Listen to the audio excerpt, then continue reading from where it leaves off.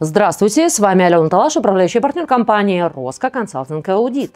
В 2022 году было проведено исследование, участницами которого стали 9 тысяч женщин в возрасте до 45 лет. Затраты на ребенка до 3 лет были оценены российскими матерями в среднем в 1 миллион 370 тысяч рублей.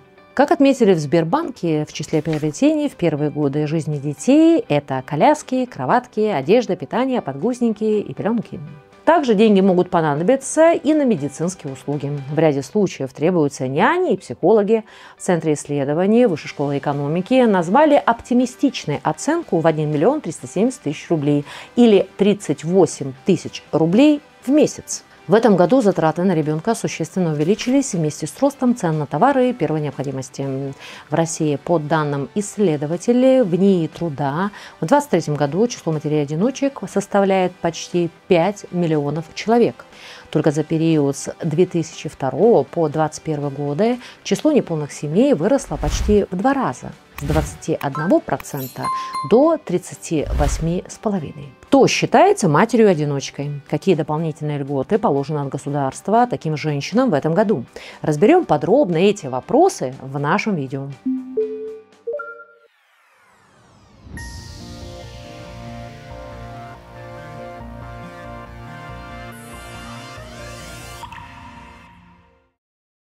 Кто относится к матерям-одиночкам?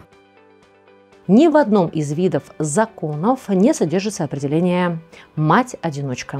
Смысл данного понятия зависит от цели его применения в различных отраслях законодательства.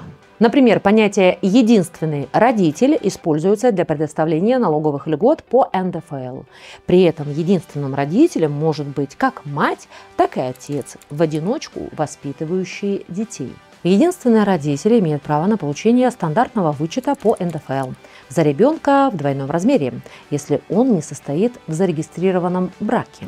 За первого и второго ребенка 2800 рублей, за третьего и последующих детей 6000 рублей, за ребенка-инвалида 12 тысяч. Для одиноких родителей с 25 февраля этого года расширены и трудовые гарантии. Так работодатели не имеют права увольнять по собственной инициативе работников в одиночке, воспитывающих детей в возрасте до 16 лет. Помимо этого, работодателям запретили увольнять супругов военных, погибших на СВО. Об этой новости мы рассказывали в наших социальных сетях. Подписывайтесь, чтобы оперативно получать важную информацию. В законе одинокой матерью считается женщина, являющаяся единственным лицом по воспитанию и развитию своих детей, родных или усыновленных. Подробнее об этом расскажет юрист компании «Роско» Дарья Потапкина. Одинокой матерью считается женщина, которая воспитывает детей без отца когда отец ребенка умер, лишен родительских прав, ограничен в родительских правах, признан безвестно отсутствующим, недееспособным, либо ограниченно дееспособным, когда он по состоянию здоровья не может лично воспитывать и содержать ребенка. Также отбывает наказание в учреждениях, исполняющих наказание в виде лишения свободы, уклоняется от воспитания детей или от защиты их прав и интересов в иных ситуациях когда отцовство в отношении ребенка не установлено. Региональные же власти для назначения местных льгот устанавливают свои критерии, кого считать матерью-одиночкой.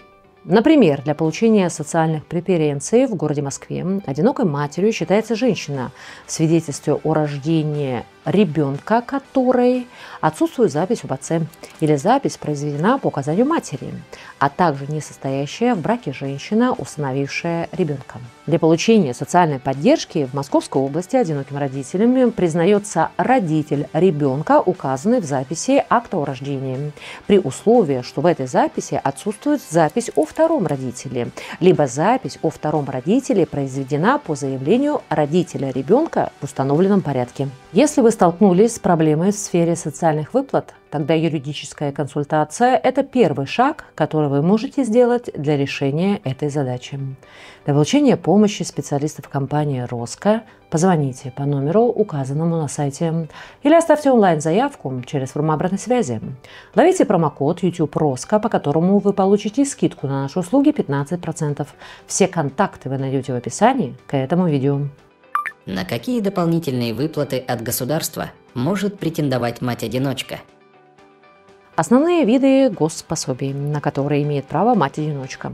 Наряду с другими матерями, имеющими детей, прописаны в статье 3 Федерального закона номер 81 ФЗ. Например, ежемесячное пособие по уходу за ребенком. Размер таких пособий зависит от среднего заработка, а за его получением нужно обращаться к работодателю. Если женщина не работает, то нужно обратиться в Центр соцзащиты населения в своем регионе. На федеральном уровне для матерей-одиночек специальных пособий нет за исключением единого пособия, которое выплачивается с 1 января 2023 года. Его назначают беременным женщинам, ставшим на учет в ранние сроки, а также родителям детей до 17 лет, если средний душевой доход семьи меньше прожиточного минимума. Расчетный период берется 11 месяцев, предшествующих первому месяцу перед месяцем подачи заявления. Например, если мать-одиночка подает заявление в феврале 2024 года, то будут учитывать период с января 2023 по декабрь также 2023 года.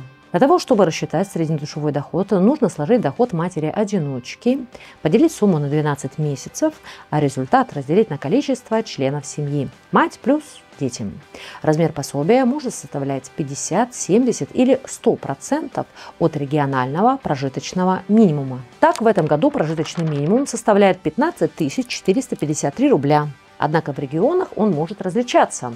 Так, самый высокий прожиточный минимум на Чукотке составляет 39 813 рублей. Единое пособие рассчитывается в процентах от регионального прожиточного минимума. 50% – это базовый размер выплаты. 75% – если семье не будет хватать среднедушевого дохода до уровня прожиточного минимума и 100%, если при расчете пособия в размере 75% уровень среднедушевого дохода семьи все равно будет меньше прожиточного минимума. Заявление на пособие удобнее всего подать через сайт госуслуг. Регионы также стараются оказывать материальную поддержку одиноким родителям. Так дополнительные виды для матерей-одиночек предусмотрены в городе Москве. Например, ежемесячная компенсация на возмещение роста стоимости продуктов питания, а также на возмещение расходов в связи с ростом стоимости жизни. Для детей с московской пропиской до 7 лет предусмотрены следующие льготы. Бесплатный проезд в общественном городском пассажирском транспорте, бесплатное посещение зоопарков, парков культуры и отдыха, выставочных залов и музеев, находящихся в ведении столичного правительства. Подведу итоги. Итак, матери-одиночки вправе претендовать на единое пособие, установленное на федеральном уровне, и на иные региональные выплаты.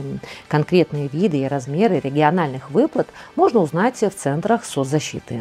Как правило, расчет региональных выплат отталкивается от среднедушевого дохода женщины. А для более подробного изучения льгот и субсидий, которые предоставляет государство, переходите по ссылке на наш плейлист.